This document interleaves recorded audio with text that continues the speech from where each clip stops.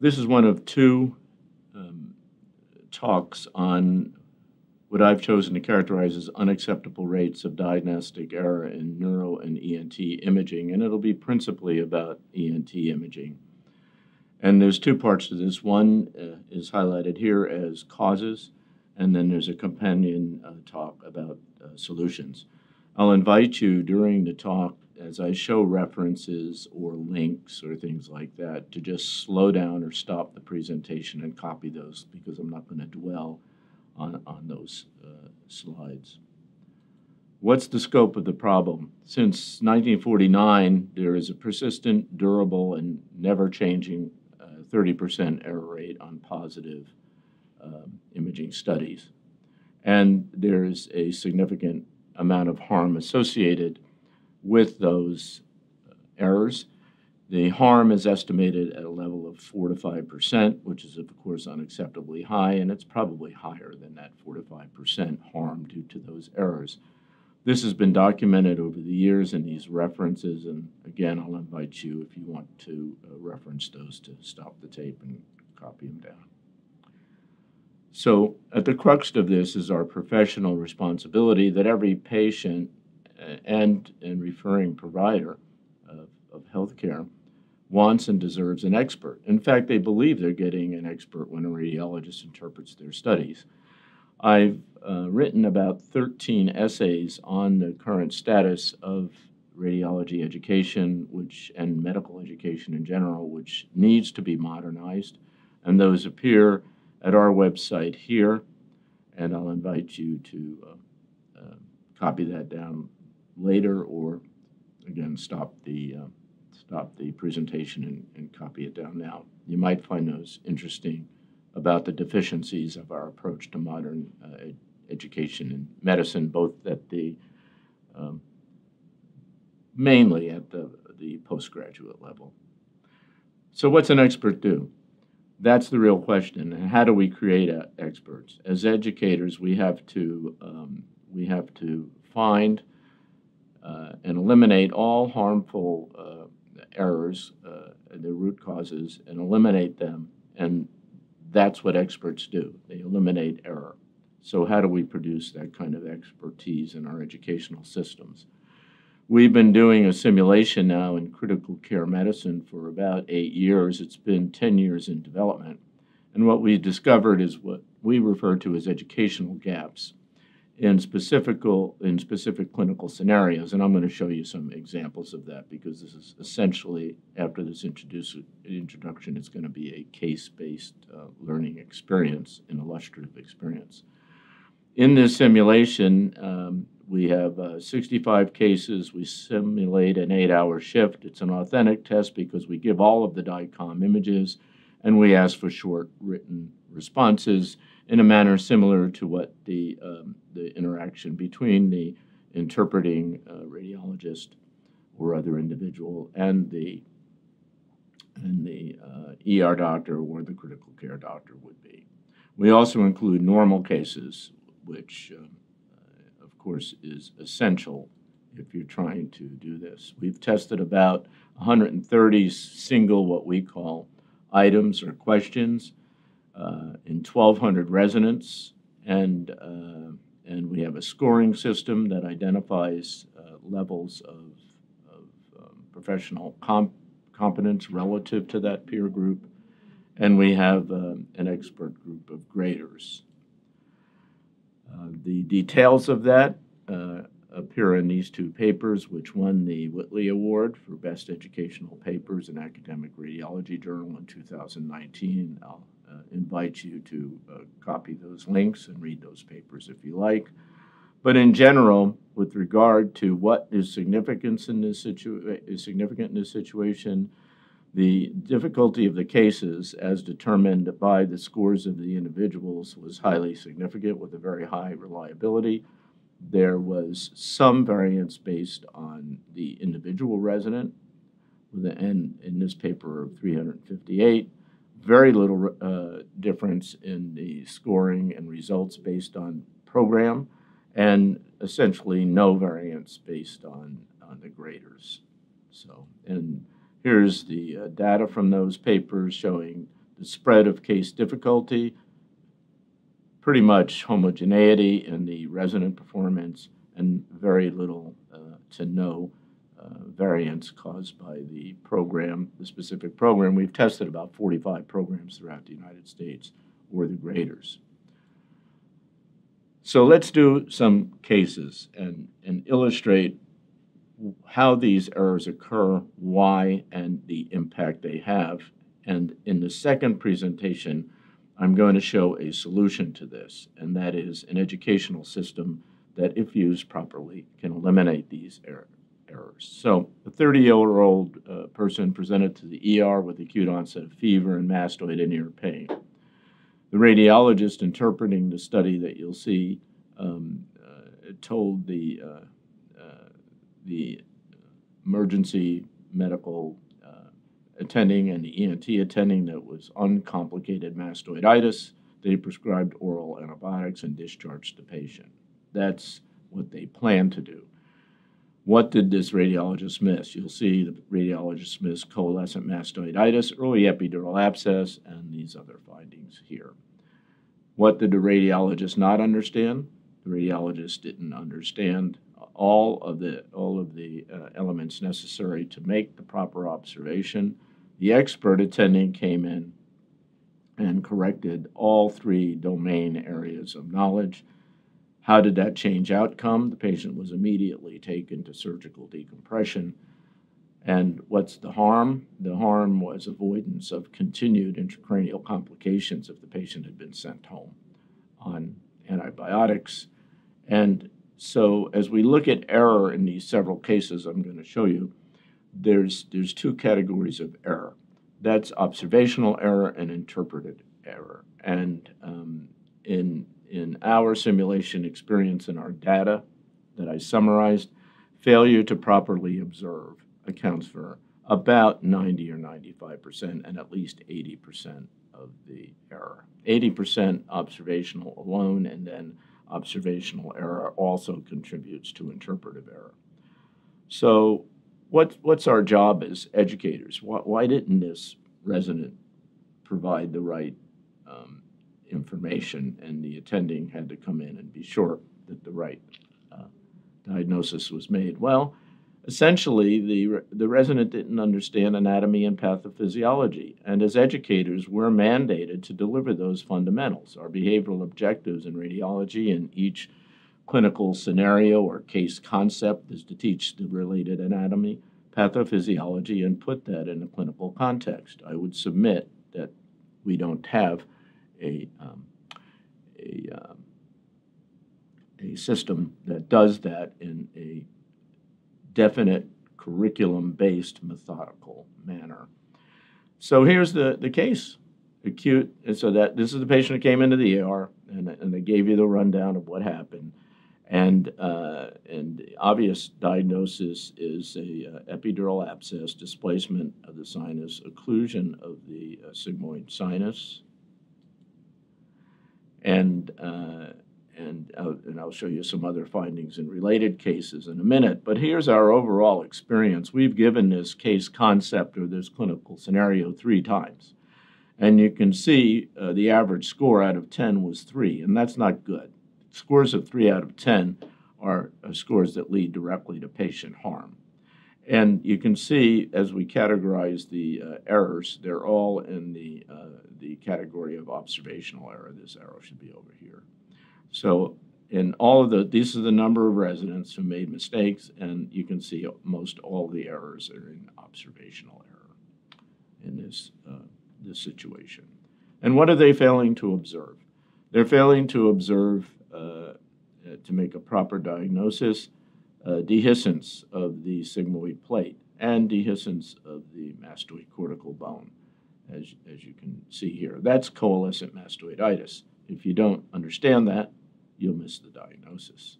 If you're not taught that, what are we trying to avoid? We're trying to avoid intracranial extension, vein of Labbé, uh, occlusion, thrombophlebitis, and brain abscesses, which, uh, if they're in the dominant hemisphere, can be um, can be uh, quite uh, devastating. So that's the harm we're trying to avoid.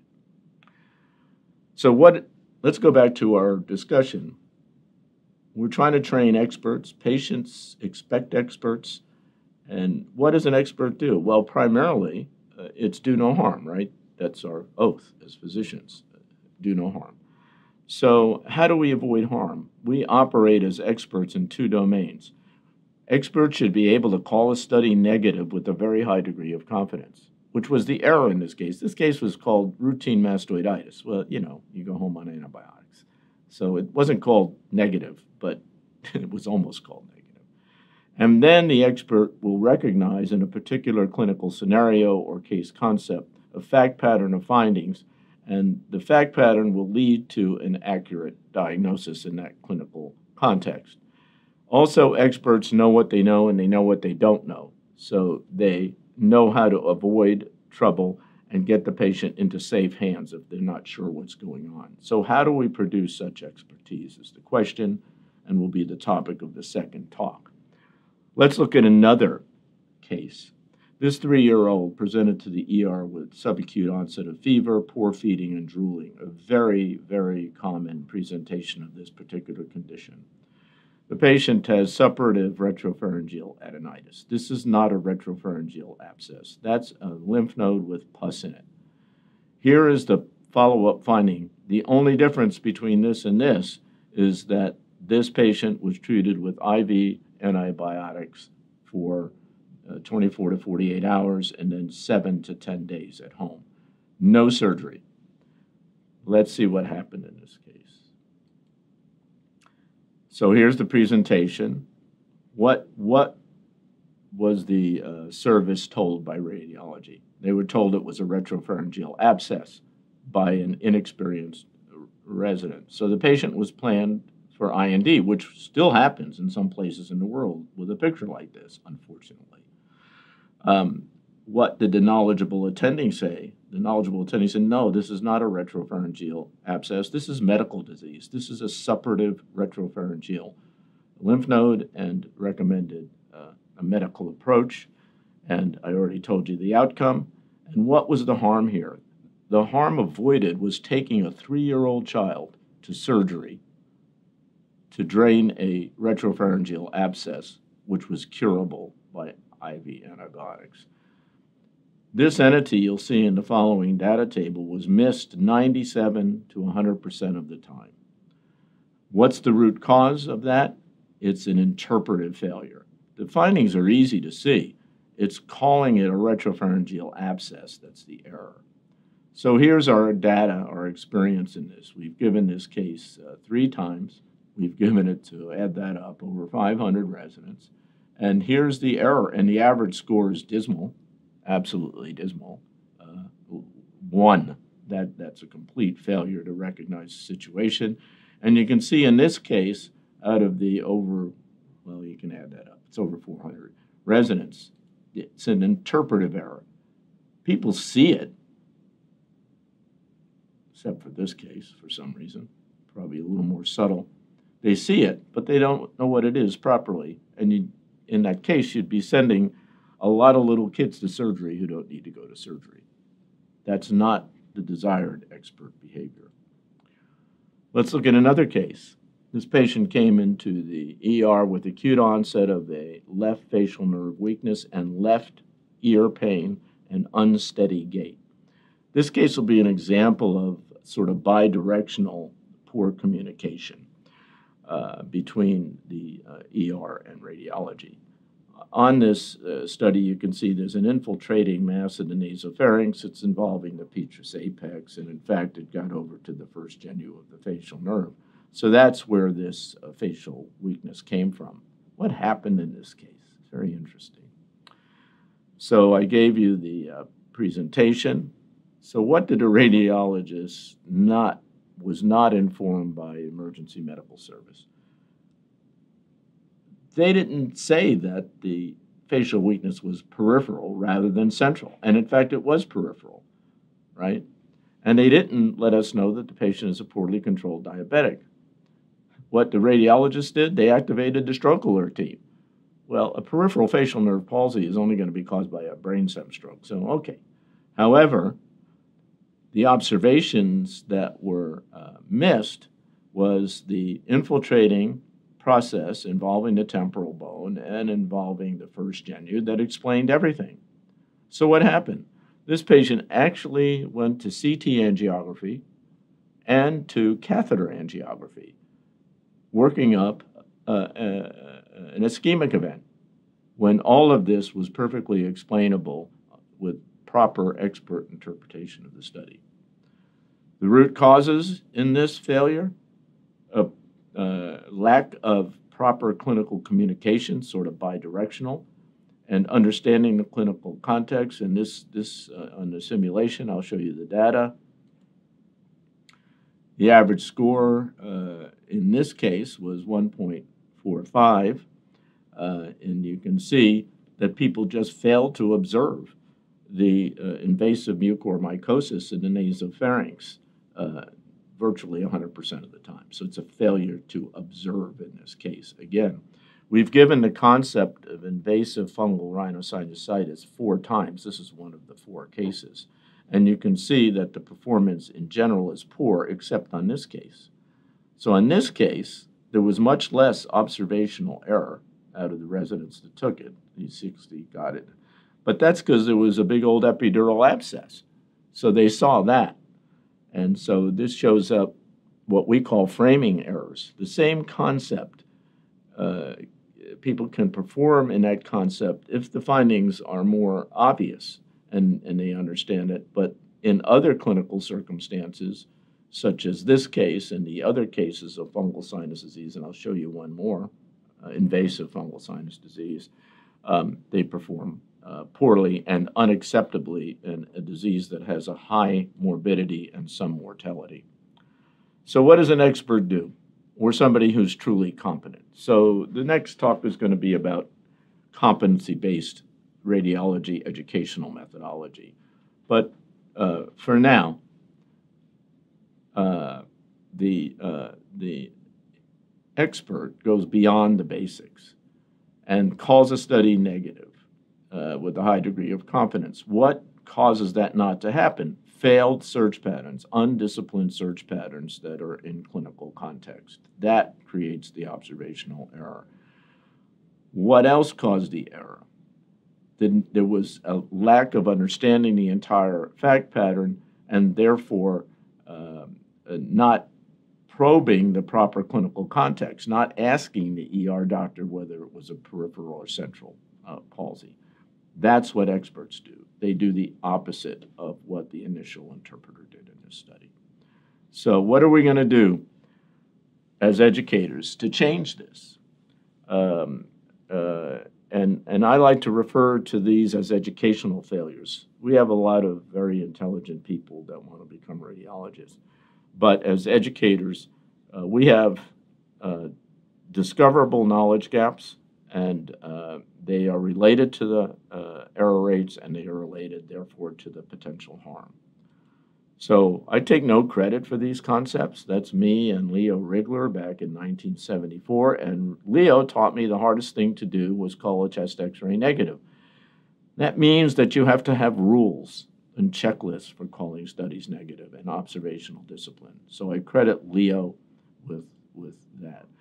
Bill Hanafee, my other uh, uh, teacher for years at UCLA, said you have to understand how the images are relevant and relate to the clinical situation, which means you have to form close relationships and understand what they need to know. And that's Bill's concept he taught me. So I'm just carrying on the legacy of these two great educators.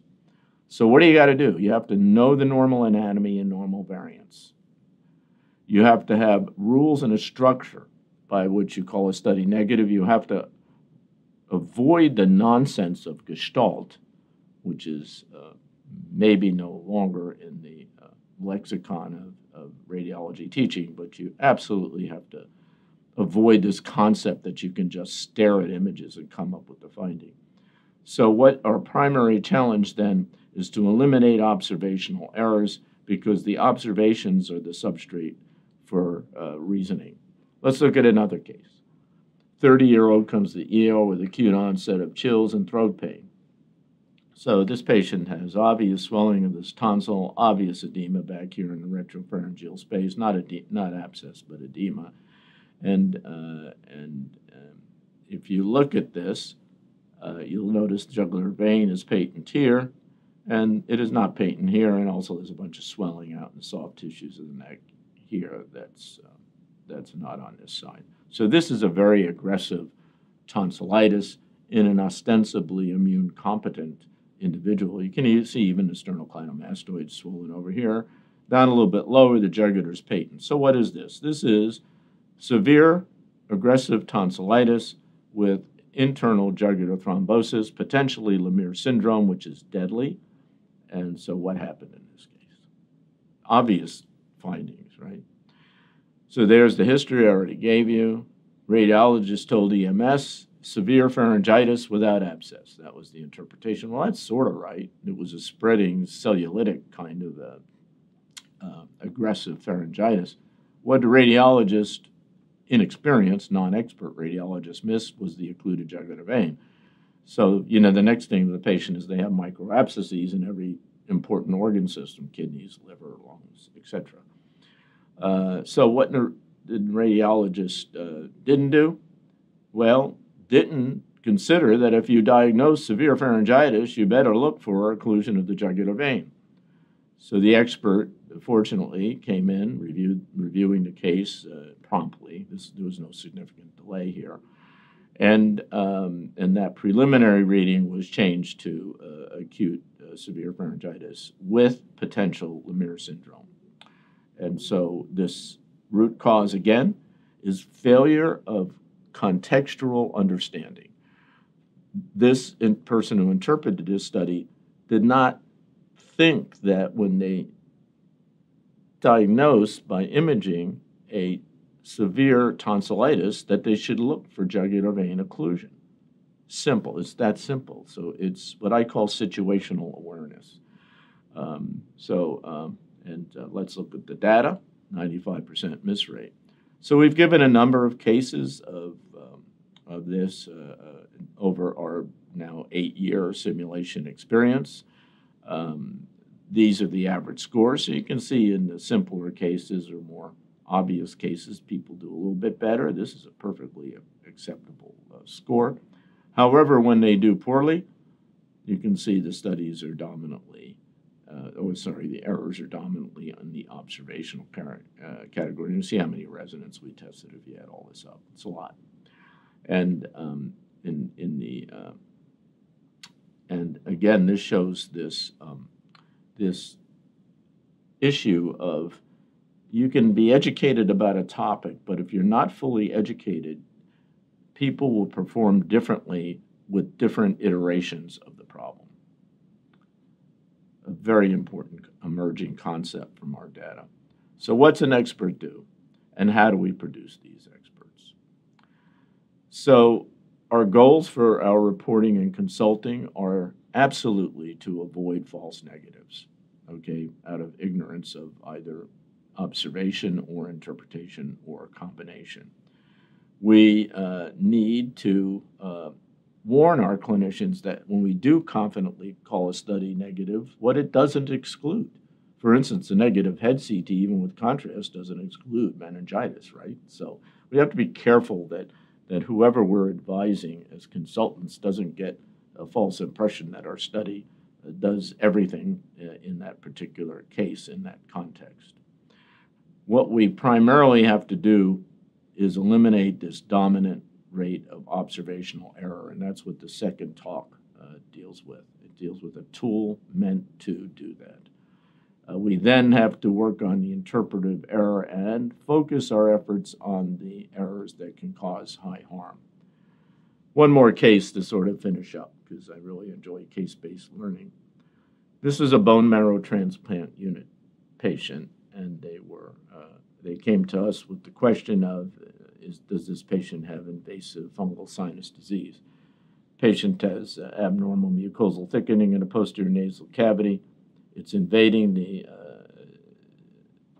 pterygopalatine fossa by way of the sphenopalatine foramen. You can see the normal fat down here. The disease is all the way out to here.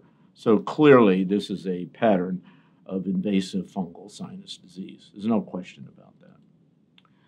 So, in that case that you just saw, uh, the initial interpretation by the non expert was uh, no evidence of invasive fungal sinus disease.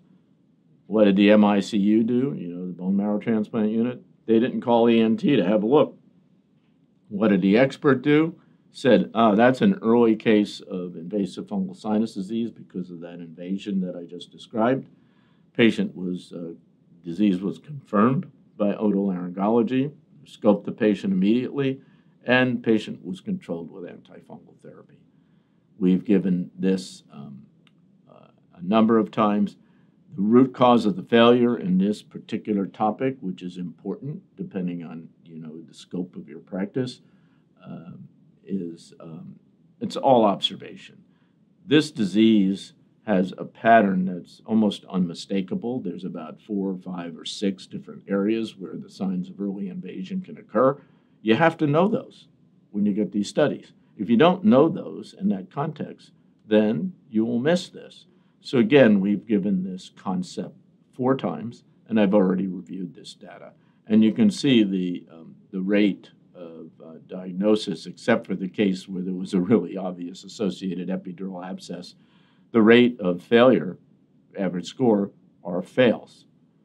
And, uh, and, and that is not acceptable in this disease because, as, as, as you may know, this disease can lead to blindness, intracranial extension, and even potentially death because of intracranial extension and secondary bacterial abscess, as was in this case. And look at this. Some combined, a few had no error, so a few residents did pretty good, but miserable pass rate here uh, based on observational error. And again, I've given you the references for these papers, and you go look at them. So, let me make sure I didn't miss that. No, that's fine. So, in summary, um, what what's the challenge? The challenge is that we have to do a better job at imparting basic knowledge. We have to treat anatomy. We have to treat what's normative and what isn't. We have to treat pathophysiology, and we have to put those in what we call case concepts or clinical scenarios. And each of those are a unit of competency based education. And that's the approach that needs to we need to change. We need to have a competency based curriculum and uh, a, an evaluation rubric like the simulation that proves competency with authentic testing, not fake testing like multiple choice tests and a few images. Uh, authentic testing means you test what you actually do. And on a daily basis, we don't look at four pictures from a study and four multiple choice questions, right? We look at all the DICOM images and we render an opinion. We have to instill discipline that uh, there needs to be a, a, a, pattern of observation that's disciplined and complete and knowledgeable in clinical context and situational awareness. And that must be uh, one that has exclusionary rules so that you can call a study negative. And any report or consultation has to reflect this disciplined process. And then we have to somehow transmit what I call medical wisdom, which we can also do in our training uh, context. So um, that finishes uh, this part that outlines some causes and, and examples of the illustration of some of the persistent errors in uh, neuro and ENT imaging. Trust me, there are others. And I'll invite you again to the URL of my essays that set forth uh, the, the, problem and suggestions for what we need to do about it.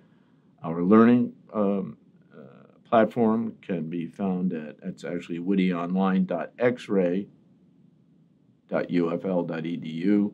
And I would, I would uh, invite you to uh, the uh, website uh, at University of Florida where you can um, look at all this information, the essays, including access to our e-learning platform that is called Wisdom and Di- U- University of Florida, UFL, Wisdom in Diagnostic Imaging, WIDI for short. Thank you.